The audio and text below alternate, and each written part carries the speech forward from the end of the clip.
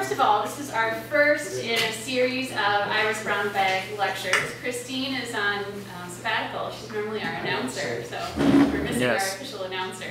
Mhm. We, we miss her every day already. There are a million things she does that we're noticing we don't have anymore. We didn't know how to announce the talk on me today. We're lost. but anyways, she's not here. Um, we're kind of in an interesting position right now because we're starting to develop a lot of different methods for consultation, both for faculty research and for faculty teaching related to DH.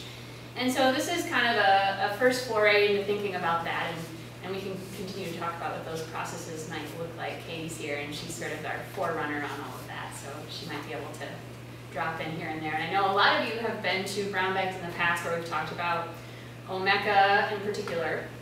And one of the things we've been able to do in IRIS recently, after years of toil and trouble, is convince ITS to give us push-button access to new uh, Omeka instances. So it feels like we've won a real battle, though we haven't, you know, had one where we have to actually make the push-button thing happen yet. So don't hold your breath, but we could have Omeka instances at the ready for everyone. You get an Omeka you get an Omeka. so it's very exciting. exciting days in the Iris Center. So this talk, should we turn off one light maybe? Is it hard to see from back there? Yeah. Guys okay? This talk actually um, was a talk I put together for an invited lecture at Kansas University. And I have tried to reframe a few things for SIUE specific instances. Part of the other talk was mostly just about trying to explain why we are not KU at SIUE, and so I got to cut all of that out, which is great. Um, but there are a few moments when I think I'll stop and, and give you some more detail on, on theory behind certain pedagogical models. But mostly I want to just have the opportunity to talk to you about the kinds of DH pedagogy that I practice, maybe hear if you have examples from your own classrooms, and then also just questions. So at any time, if you want me to stop and you want to talk to me about a specific thing, let me know. I'm totally excited for that to happen. And in fact, it means I won't get all nervous and start reading off my paper, so it's probably for the best for everyone you ask me questions in my experience. okay. So the first question I think is always, why would you do this in the first place? Especially in the humanities that has some pretty traditional things that happen. As, as researchers, we write, and in the classroom, we often use the Socratic method to talk through ideas together, and we write. And so it's very um, theoretical and critical in its construction, and the idea behind DH pedagogy kind of turns that on its head. But I think it's important in this particular moment for a lot of reasons. And to me, this, this very first reason is all about the fact that students, and there's been a lot of studies about this recently, um, feel trapped and even depressed in digital environments. They don't have a lot of agency in those spaces when they think about social media and when they think about their day-to-day interactions online. And so, to me, the most empowering thing about DH pedagogy is that it can give students the opportunity to be building digital environments for themselves and kind of trying to find ways in which um, the digital environment is a format. It's not necessarily some kind of deterministic thing um, that has an effect on them. They can have an effect on it equally. Um, and then also, almost all disciplines in the humanities right now have some aspect of DH in them. So we're doing students a disservice if we're not demonstrating to them this is what's happening in the field right now. And then I think the biggest thing is it changes the way we understand writing instruction. And I think that happens across all disciplines because um, students are using formats and methods they've never used before when they're writing for digital environments. So it could be that they're trying to think about image and text or video and text together in new ways. It could be that they're doing descriptive work as opposed to just analytical papers. It could be that they have to think about how to build arguments for audiences that are beyond just me, and the professor. So it really opens up a lot of possibilities for thinking about writing instruction that go beyond what happens in traditional paper. I'm sure there are other reasons, and I'm sure we'll get to them. Okay, so um, today I'm really going to be talking about um, DH pedagogy in two particular environments. And the first, of course, is in the classroom. And in my experience, you can do this really small scale, or you can do it very large scale. So it could be, for example, just one day bringing in digital tools that are already available. So In my Whitman and Dickinson class, for example, we spent a lot of time looking at manuscripts from Whitman and Dickinson that wouldn't be available to students otherwise. And so it's sort of like they have the opportunity to do the kind of rare book work that I get to do as a scholar, but in the classroom here because we have access to that. So it could be as small as that, using things that are already available to them. It could be that they do really small scale, what they call and fade activities. You do it one day, and then you're out, you don't do it again, but maybe it has an impact. And then it could be that you have an entire course that engages with DH. And so Gabby here was a student in technology and literature last semester. It's the second time I've, I've taught that class. I think it went much better than the first time, but I've learned a lot from teaching that class over time. And then it could be a whole program of study that's focused on DH pedagogy. And so for Iris, that's the Digital Humanities and Social Sciences minor. The other context, though, is informal learning environments. And to me, these are critical bread and butter DH. Um, and they take lots of different forms, but if any of you have ever spent time in the Iris Center, you know that this work is happening there all the time. I spend as much time teaching in the Iris Center as I do in the classroom. And um, the teaching is much different in the Iris Center than it is in the classroom because um, students are my collaborators. We sit down, sometimes I'm teaching them the things that I know as a scholar, but lots of times they're working to think through projects on their own and they really take on a role of ownership in that space. So informal learning to me really means um, students act as researchers on faculty projects in some aspect. Um, and to me that's what the Iris Center really can bring the university because there's a lot of research into retention rates demonstrating that these kinds of high impact practices with students make a much bigger difference in terms of student success, students' ability to stay in college. And you can see that um, there's a lot of pictures here. Let's see, the far top left corner is Wide Wide World. That's one of our first group of Wide Wide Worlders, I think around 2011, 12. All of those students went on to get library degrees, advanced um, PhDs, all kinds of things. So um, it's a really, we have a good track record of, of having students come out of the Iris Center and, and go on to, to different programs and, and, and not drop out of the institution. We're trying to think about that more in the Iris Center too. What does this mean in terms of next steps? How does this go beyond the Iris Center and, and end up in other parts of the university? And I can talk about that at some point if you want. Okay, so to me there are really five sound principles of DH pedagogy. I just talked and forgot all about where I was. um, the first is that praxis encourages tink tinkering, building, and experimentation. Number two, environment, assignments, and assessments that should invite risk and consequent failure.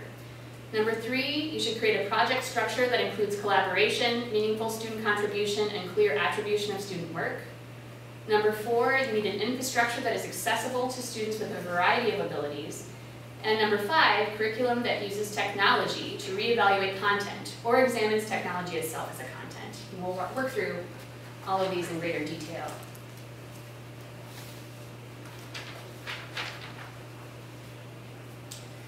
So here's where a bit of the theory behind DH pedagogy comes in. The digital humanities is an incredibly diverse field that crosses periods, genres, and languages, as well as digital methods. As a result, there have been controversies about who and what is in and out. And in fact, digital humanists, um, probably to their detriment, use the phrase what's in and what's out more than they really should. But that's unfortunate. We'll, we'll give them a break, though. So these debates were best characterized by a 2011 Modern Language Association panel, History and Future of Digital Humanities, during which several speakers discussed divisions among practitioners. And versions of these 2011 talks were later collected in Matthew K. Gold's books, Debates in the Digital Humanities.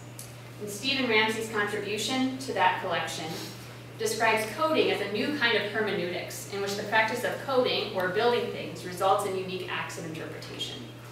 Um, Lots of times in my classroom, I talk about that as invention, the idea that you learn through doing, basically. Things that you wouldn't learn if you were thinking alone. Partly in response to Ramsay, Alan Liu argues that DH's focus on code and programming can dangerously forestall the discussion of cultural and theoretical questions that have occupied humanities scholarship during the 1980s and 90s. According to Liu, and this is really one of my favorite quotes, to be an equal partner rather than again just a servant at the table digital humanists will need to find ways to show that thinking critically about metadata, for instance, scales into thinking critically about the power, finance, and other governance protocols of the world.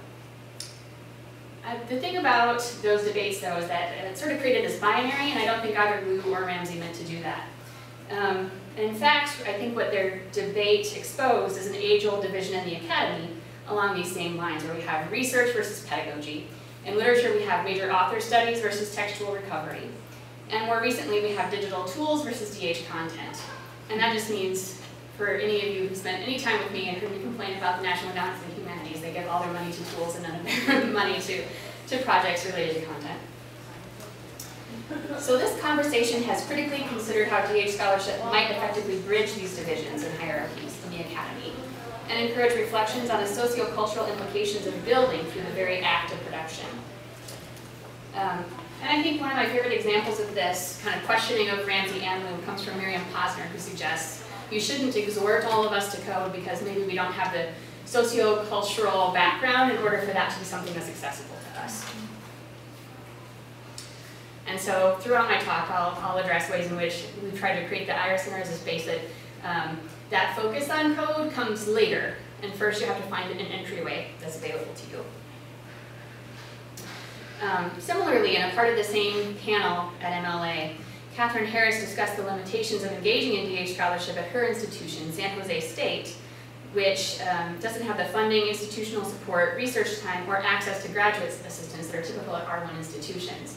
And so by excluding pedagogy for such a long time from these debates, um, really it meant that, that institutions like SIU didn't have a seat at that table. Um, so in a lot of ways, the Iris Center is kind of revolutionary in that. We try to find ways to make research and pedagogy and community engagement sort of all fit together in one space. So that's building, which is really code-based. And in my experience, when I read Ramsay's work, it, it's often about you have to start from some raw materials and then create something. Um, but there's another discourse that I think is more helpful for pedagogy that is tinkering. And so tinkering is really more about, instead of building something new, taking a lot of materials that are already there and sort of playing with them to find something else, to sort of, not for a finished product, but to just kind of play and to see what results.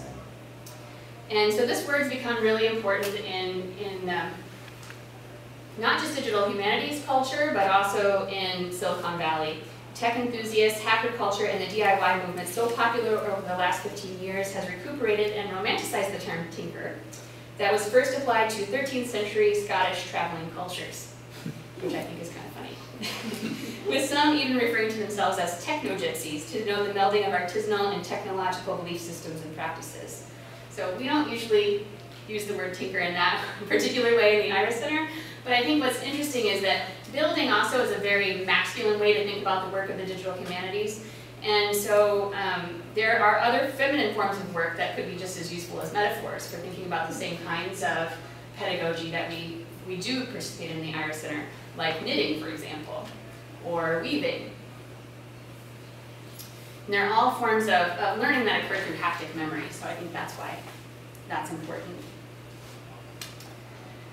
So why tinker at all, I think, is the next question. My interest in tinkering and forms of tactile learning began when I was a student at the University of Iowa completing my PhD in the English department and a certificate in the Center for the Book. And uh, students in the Iris Center, Gabby included, have heard me say again and again, probably every paper I write begins with, I was a student in the Center for the Book, and then I delete it. But it really formulated everything that there is to say about who I am as, as a thinker. At the center, I studied the history of the book, not just by reading and examining rare materials, but also by making paper. Rather than seeing these two aspects of my education as opposing entities, thinking and building became inseparable concepts to me. Beyond muscle memory, haptic learning to me involves practicing in action in order to understand and reflect on its social, political, and critical meaning. So I often place students in the role of curator in my classrooms in order to achieve this. I'll have them perform the same tasks in physical and digital environments to reflect on the similarities and differences between those formats. One example of this is in my senior assignment course about book history, in which students create a rare book exhibit in the library as well as one online.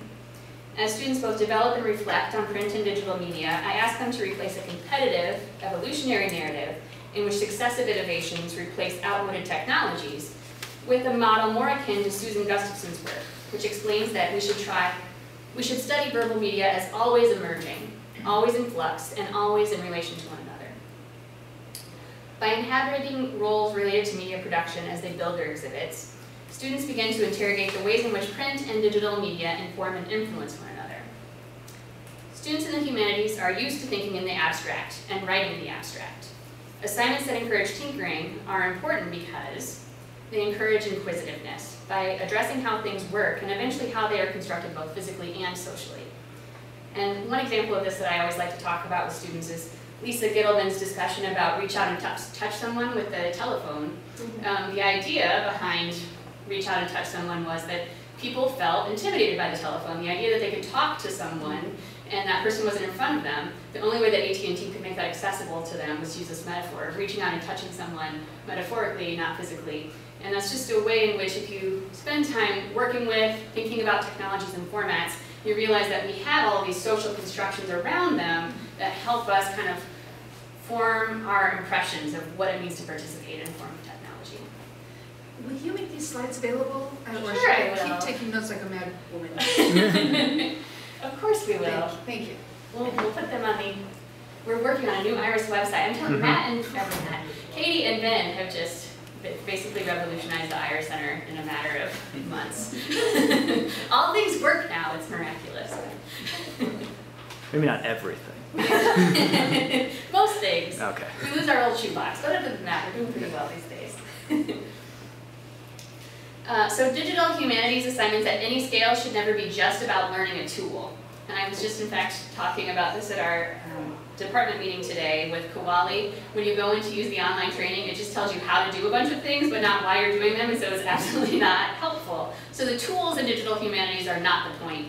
I don't go into a classroom and say, let's all figure out how to use Omeka. Um, it's always, it has to start from the content first. And then we use the tools to help us think about the content in new ways. I also understand though that trying to pick out tools to use in class can be stress inducing and so we can help with that. So here are just a few examples of tinkering assignments if you don't totally understand what I'm talking about yet. Um, so one is, if you, if you have any practice with web development at all, you know that a basic web page is formatted in HTML. But if you're working on a website and you want that formatting to be the same across all pages in a website, you need a CSS style sheet to do that work. Um, and so one example of tinkering is don't have students start from the ground up making their own CSS style sheets. This is Google Chrome's developer tools, and um, Ben's actually showed this before in other IRIS um, talks we've had. But basically, in Digitally St. Louis, students just go into developer code, make a small change, and then they can see it on the page. And they make really horrifying, unattractive websites in the process, but then it just all goes away a button. Um, I think this extends to work we do that's not just in digital environments too. So sometimes um, I bring sculpture clay to class and have students construct models of systems they see in text, just as an alternative example. Um, students sometimes make visual representations. In fact, Harry Potter students are doing this right now where they take a bunch of quotes and they remix them with visual elements to, to kind of rethink and refocus their experience with textual analysis.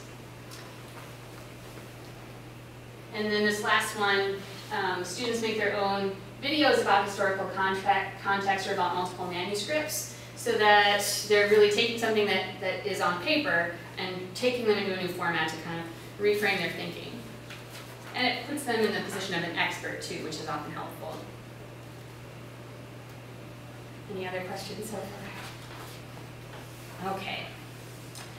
So this, I think, is one of the hardest things for students and for faculty to consider. But I think it's critical for DH projects to invite risk and failure. So failure has to be an option, and I know because I've watched students fail at this multiple times. Um, the first is that if they know they have room to fail, they might just possibly become intrinsically motivated and excited to be there. Possibly. I'm not promising anything. but it's different than it kind of takes their um, frame of reference away from grades for a second and lets them know, okay, I'm safe here to try something harder and not have to worry that I'm gonna get a bad grade because I tried something harder and I didn't finish it. And then there are just some really clear um, reasons to do this that are practical. One is that it takes a lot of time to add DH into a curriculum like this. And so depending on how you do it, you need to give students the option to not finish things. And so even right now, I have a student in the Harry Potter class who's decided she wants to make a, um, an app for the Marauders map. And we talked about the fact that, you know, if you plan it, if you have all the structure there and you don't actually execute the app, since you know nothing about app building, that's okay with me. It's okay to do that. I need to know that process is where we're putting our interest and not a finished product. Also, students, like I said, they just don't have experience, and so they need a little bit more time, they need the option to fail. But it's really hard to set this up for students, and I've experienced it, I've, ex I've experienced their discomfort with it on multiple levels. In fact, right now in, in Harry Potter, we're using a um, learning contract, which I'll talk about again in a second. The first time they do that, they just have no concept around which to understand what it means that they get to choose their own grade and that they're planning their own learning. It's, it's really hard. I mean, it takes two weeks just to get the contract figured out for them. But then once it happens, it's great. Um, so you just have to create an environment that allows for this to operate smoothly. So one is you talk about the classroom as an environment and you reframe that space. So it becomes a studio, a lab, a makerspace, which when you have tables works really well. it's not a classroom and it's not the traditional classroom. Maybe sometimes we'll sit in circles, but not as much as I, I do in, say, my Whitman and Dickinson class. I often describe the class itself as an experiment, which makes them strangely more comfortable. This is an experimental space, and that means that I might fail just as much as you'll fail, and we've created an environment in which that's okay. So that they don't think, um, you know, if something goes wrong, I'm going to be angry at them immediately for that. We talk about failure itself and we write failure narratives too. And I tell them, wow, that was a really stupid assignment sheet or and, and so sharing that and talking about what are the possibilities of that and what do we learn from failures becomes really important. We talk about process all the time and I reward process instead of finished product. And I incentivize peer evaluation. I use contract grading, which we can talk about later if you have questions about it. And Gabby's been, you've been in classes where I've done contract grading and you've been in classes when I don't, and they are hugely different, aren't they? I just sort of the environment is different, and I feel different when I walk into them. You know, remember in the steampunk and Dickens class, everybody is very opposed to having a contract. They were, because there were students who had been in Harry Potter who were in the Dickens Meets Steampunk class. And I didn't go into Dickens Meets Steampunk with the plan of using the learning contract. But then the students from Harry Potter said, oh, we really want to do this again. And all those other students who had never experienced it said, no, we don't want to do that, that's terrifying. And so they voted and we didn't, we didn't do it. So students really have to be um, guided into it carefully. You said you felt different when you walked into the two different, could you explain that a little bit? Well, it's, it sort of has something to do with the level of being on, if that makes, I mean, if you That teach, you know sense. what this, what that means.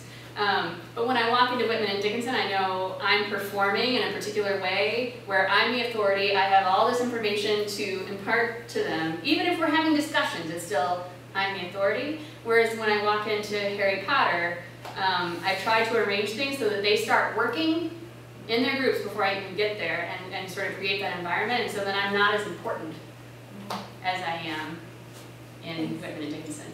Uh, and I like being important, so that's, you know, that's fun too, but it's really different. That makes sense. So part of this is about a flipped classroom too, which I think can be a contentious term, but it, it generally means trying to develop tools so that students can learn outside of class, so that what happens in class becomes a makerspace in a lab, so that those kinds of things can happen.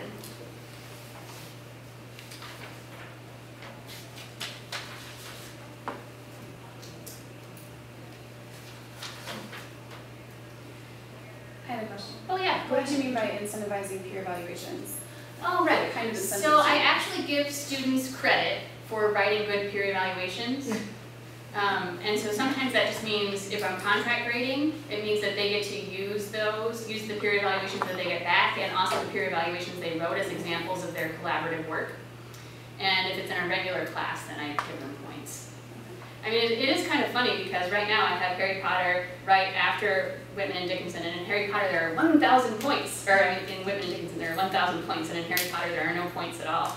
And it's really funny, but.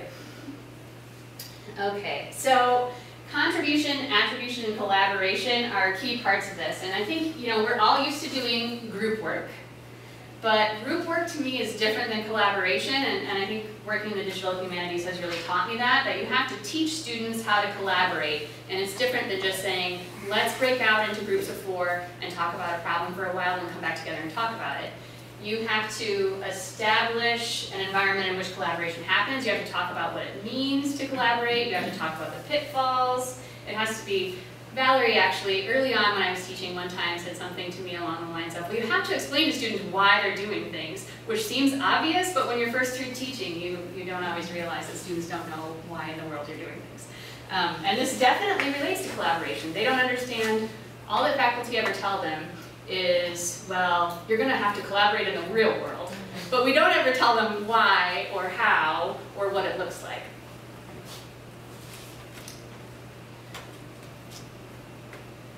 So here's our wide wide Worlders again, a different picture of them. I really, I heart them. so um, part of what happens in the wide wide world, but I think this happens in the classroom too, is that you have to establish a very strong sense of community early on. And um, so I've written a lot about this when it comes to what happens in the wide wide world and in those informal learning environments. You have to allow students to develop their own expertise and teach other students. Um, we have full day workshops, and then part of the benefit of being there at all is the level of mentorship they receive, both from other students and from me. So there aren't a lot of other English majors like Wide Wide World students who get the opportunity to just talk to faculty all day long about what it is they want to do with their lives. Um, that's unique. Would you agree, Gabby? I know all about Gabby's life and what she wants to do with it. And so it creates a really unique environment for that reason. And um, it's tiring, but it's, it's worth it for my research, it's worth it for the students.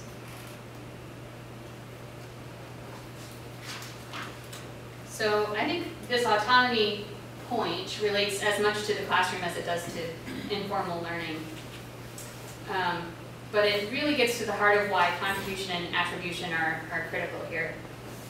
So with the Wide Wide World, all of the students are cited as project editors on the website, and they're all equally responsible for the project's outcomes. We solve problems together, students train one another and me, we meet weekly and I consult with them on every aspect of the project's design and methods. Having one-on-one -on -one time with a faculty member was one of the most rewarding aspects of my time on the Wide Wide World. I had the opportunity to work side by side with Dr. DeSpain for two years. We solved major problems together and shared in frustrations and triumphs. I felt an immense sense of responsibility to this project. It was the first time that the work I was doing and the decisions I was making would affect not only the project that Dr. DeSpain had envisioned, but also how the project would look five years in the future to researchers. This project shaped who I was as a student and gave me the courage I needed to add my voice in with collaborations.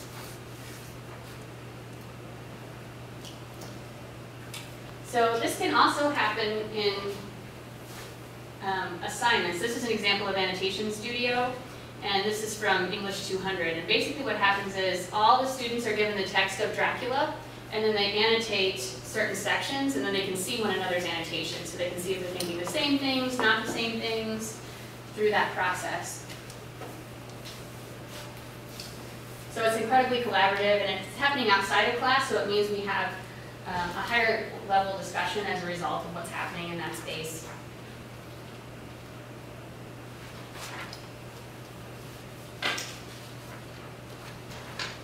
Okay, and then the next thing is accessible infrastructure. So there are lots of digital tools you can use, and there are lots of options to think about in terms of how, what kinds of DH you want to do. So just on here we have Voyant, which is mostly about data mining. We have Omeka, which is mostly about archiving. We have WordPress, which is just a content management system, but can also be a blog. We have Scalar, which is about creating ebooks, sort of. That's what it calls itself, but it's not really.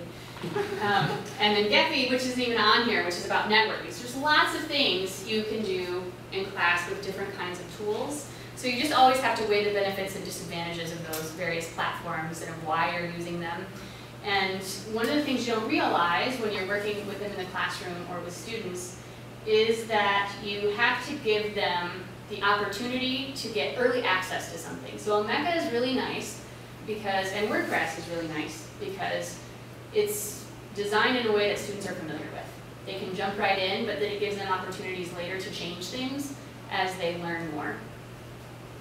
Whereas lots of times when it comes to R1 Digital Humanities research, they really suggest you build projects from the ground up and you don't use any of those content management systems, but they don't realize that at places like this where we're working really closely with students, that it's necessary to use some of those. So those are just kind of the benefits and disadvantages you need to think through. And again, we've been talking a lot about that in IRIS and we have a process for it now, so we can walk through it with you. I think, you know, most of the students who are involved in the wide, wide world come to us with absolutely no technological expertise at all. Um, and they are also of the groups that are um, usually stereotyped as not having abilities in computer science and technology. And so they, they feel intimidated before they even arrive. And so we've tried to do what we can to allay some of that intimidation and to give them an entry point so that they feel later like they can do more things. Sometimes faculty come to our center with no technical experience at all, Yes. and then And that's everything you just said applies to them too. I hope we're living up to that, Joanna. yes. Okay, so this technology as content and content as technology relates to everything we talked about when we were talking about building and tinkering. And I think it's the most important point, and it's really the last point that I want to make. But it just demonstrates that all digital projects should be tied to content in some way. So in the case of the Wide Wide World, students are reading the novel and working with physical editions so that the work they do has a purpose and they have a voice in the larger project goals.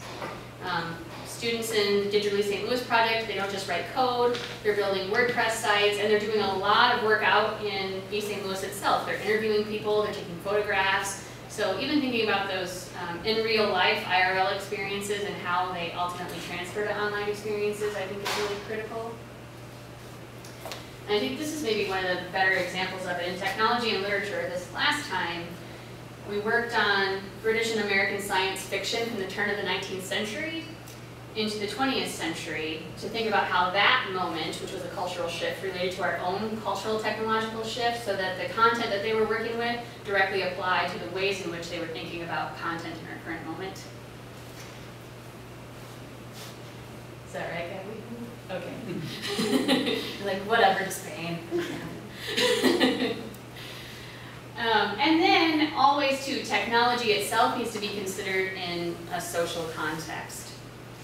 Um, so in 1991, Judith Wajcman inserted gender into the already growing body of scholarship, arguing against technological determinism. Technologies result from a series of specific decisions made by particular groups of people in particular places at particular times for their own purposes. As such, technologies bear the imprint of the people and social context in which they developed. And I think this is just critical for all DH work, and to me, it's, it's kind of the point, in a way, to, to, to help students understand that technology, too, is a cultural con- construct, that we made it, and every DH activity we engage in is about them thinking about how they're making it and how they can influence culture through that process. It's, it's sort of my high horse about how I think we can change the world, because it means that they're actively um, realizing that they're not a slave to that system if they don't want to be. There's a way. There's a way out of there. There's a way for them to rewrite that narrative.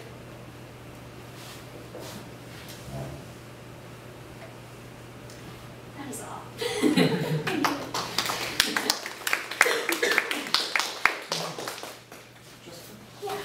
So, uh, when your students create WordPress um, sites, do- does it get posted somewhere? Yeah. And So. how, and and how do you, you have to pay for that, or? Yeah, so let me talk a little bit about that, and that's one of the things we recently achieved too, is that you can also get a WordPress site hosted through the Iris Center for your class. okay. And um, so in the past, I've done a lot of different things. I've made it so that every student has their own WordPress, and that's just free through WordPress. Or I've made one big WordPress site where students are collaborating together actively, and I found that that's usually the better model. And um, in technology and literature, it was the case that we were doing so much back-end coding that I wanted us to have one that was um, hosted outside of WordPress. And so um, we, that one I ended up paying for. But now that we have it on campus, the way that we set it up through the Iris Center, you wouldn't have to pay for any hosting, and we could help you get it set up. So if I, if I understood what you said correctly, so you- if you, you could have a WordPress site hosted through Iris where the class would collaboratively work to build that, Mm-hmm. that WordPress site, what would we, we just have to contact you? Yep, just contact us, and we have a, we have a new intake process for teachers who want to think about how to incorporate DH into the classroom, so. And you could be our first guinea pig if you want, Larry. Okay? Katie will help you out. And I will say that the WordPress, creating WordPress, a new WordPress site, we know works and is fast. Yes, yeah, there's no, that's Omeka. easier than Omeka. Yes. Well, Christine and I had a WordPress site for the Southern Illinois Dialects. Project. And it was hosted then on GoDaddy, uh, which we of course had to pay for. Um, and then at some point it got hacked and the whole thing became useless to us, so.